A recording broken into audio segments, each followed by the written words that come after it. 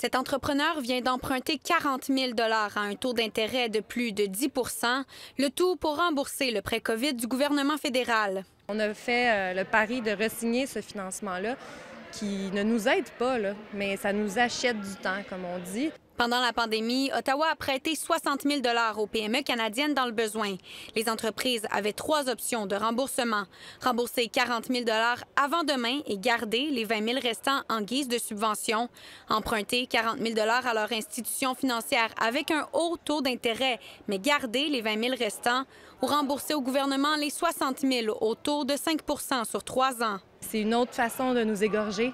Plusieurs entreprises n'ont pas encore eu le temps de se relever de la pandémie. Tous les contre-coups de la pandémie sont tellement d'actualité pour nous. C'est pas vrai, comme dirait Justin Trudeau, que c'est terminé, c'est derrière nous. C'est pas derrière nous, là, on est dedans. Les soutiens COVID, il fallait qu'ils finissent à un moment donné euh, et euh, ce sera maintenant. Le temps de l'année est vraiment mal choisi. C'est un temps où, en ce moment, avec l'inflation, le retour des fêtes, ça n'a pas été super pour euh, aucune euh, organisation et entreprise. D'autres entreprises n'ont pas eu l'opportunité d'emprunter chez leur institution financière.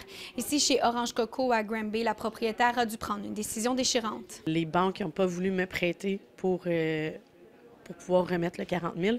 Donc, j'ai eu la chance de pouvoir réhypothéquer ma maison. Mais, tu sais, je trouve ça plate parce que je mets toutes mes économies personnelles pour faire survivre l'entreprise. Les consommateurs n'ont pas encore repris leurs habitudes. Les entrepreneurs doivent toujours innover. Ça a été difficile le vrac justement avec euh, la pandémie. Puis les gens, ils recommencent. Il y a eu beaucoup de clients qui sont toujours pas revenus, puis il y en a qui recommencent à revenir petit à petit.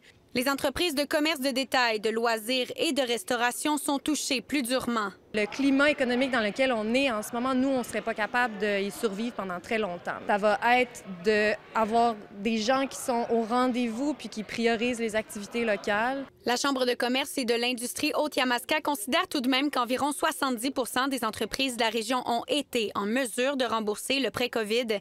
Certaines ont toutefois dû fermer leurs portes. Annick Berger, TVA Nouvelle, Bromont.